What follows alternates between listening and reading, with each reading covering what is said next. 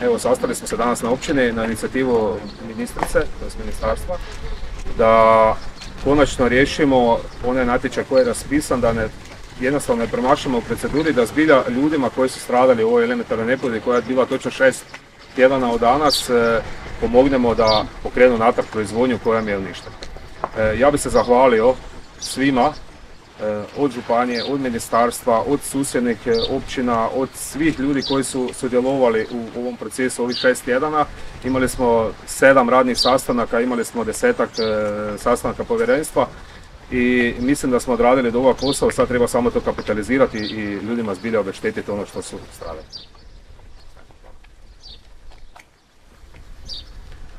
Evo, lijepi pozdrav u ime općine Mali Bukovec. E, dakle, općina Mali Bukovec imala malu sreću u ovoj nesreći, da nismo, e, e, nismo bili zahvaćeni u kompletu sa tučom. Kod nas je nešto malo manje stradalih, ali intenzitet tih stradalih je naravno isto veliki kao što je bilo i u općini Veliki Bukovec.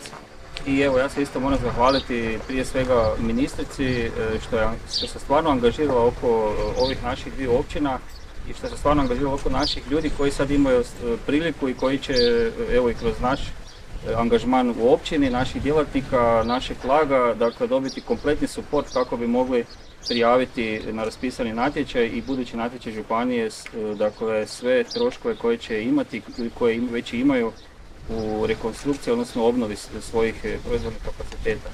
Evo, prije svega u ime tih svih stradalih e, i cvjećara i svih poljoprivrednika još jedan put u ime općine e, veliko hvala ministrici poljoprivrede. Hvala. Dobar dan svima. Najprije bih se zahvalio načelnicima na organizaciji ovog sastanka, ministrici na dolasku.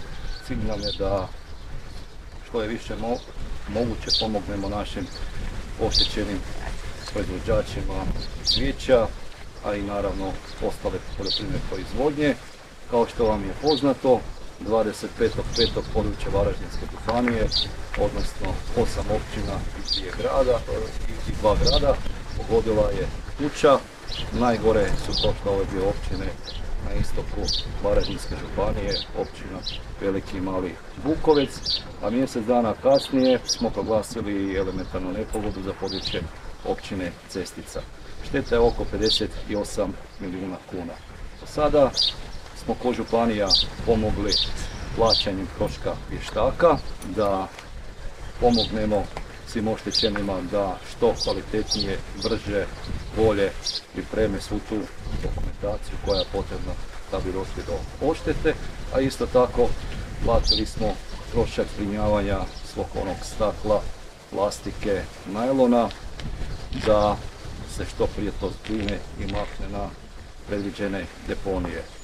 Kao županija dužni smo donijeti, naravno to je dogovorno sa Ministarstvom poljoprivrede, odluku o potporama male vrijednosti i to ćemo još odraditi sad na idućoj sjednici 20.7. Na taj način smatram da smo zaokružili taj jedan proces, ali opet naglašavam, sve ima neku svoju proceduru, treba proći minimalno 50 dana 50 dana, jer u tih 50 dana svi oštećeni imaju mogućnost da upišu svoju štetu u registar i šteta. Prema tome, evo, apeliram na sve koji još to nisu učinili da učine, jer i tih 50 dana se bliži, a mi kao županija sve ćemo odraditi na vrijeme. Hvala. Žamara ministrica poljoprivrede.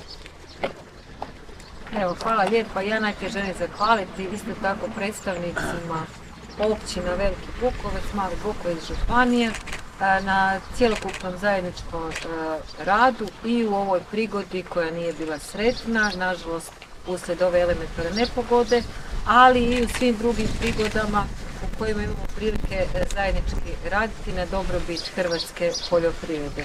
Također želim zahvaliti i ovdje svojim nazočnim suradnicima iz uprave za poljoprivredno zemljište, biljnu proizvodnju i državnom tajniku koji organizira savjetodavnu podršku na terenu jer našim ljudima treba podrška, kako se kaže, jedan na jedan u rješavanju eventualnih administrativnih dvojbi koji imaju i onako su opterećeni i e, nesretnim događajem, elementarnom nepogodom i razmišljanjima o svojim budućnosti i opstanku u kratkom roku o likvidnosti.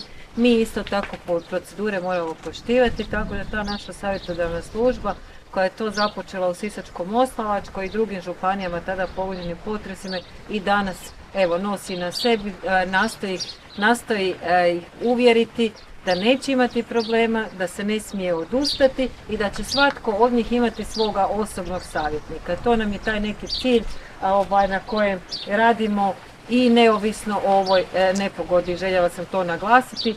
Dakle, mi smo odmah čim je to bilo moguće objavili natječaj iz mjere 5 programa ruralnog razvoja koji se odnosi na financiranje obnove poljoprivrednog potencijala odnosno na potrebne investicije. Također smo u suradnji sa županijama donijeli e, prve potrebne odluke, akte koje se odnose na financiranje izgubljenog ovogodišnjeg prihoda. Moramo pričekati konačne upise u registre, no programi su pripremljeni, sa, županijama se redovito održavaju sastanci, tako da želim još jednom poljoprivrednicima i cvjećarima poslati poruku da će sve biti ugovoreno i isplaćeno u najkraćem mogućem roku. Kako bi to moglo biti, gospođo ministrice? Možda neki rokovi, sredina ljeta, jesen? E, moramo pričekati rok e, za konačne procjene štete prema sastanku sa županijama kojemu sam ja nazočila, na zadnjem nisu, vodile su ga moje kolege, ali ja sam nazočila predsjednje sastanku. E, neki krajnji rok, koliko se ja sjećam za upis svih šteta i za objavu programa za indikativne procjene rasporeda po županijama bi bio peti e, kolovoza. Evo mi nastojimo da sve bude brže, zato se redovito sastajemo i sa županijama.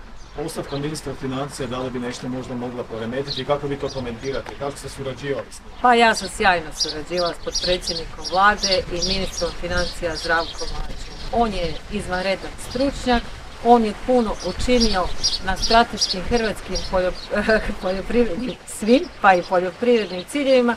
Također je e, sjajan kolega i čovjek, evo, želim to ovdje naglasiti. Naravno da nam nikome nije svejedno, no poštujemo također odluku predsjednika i ministra. Evo, to je sve što ću.